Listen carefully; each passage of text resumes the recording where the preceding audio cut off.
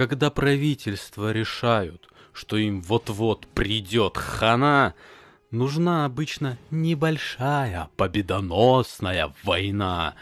Удобно всех отвлечь войной и под набат сто звонный расширить возраст призывной, повысить пенсионный, призвать к сплочению народ, мы братцы в общей лодке, а кое-кому наоборот заткнуть ловчее глотки.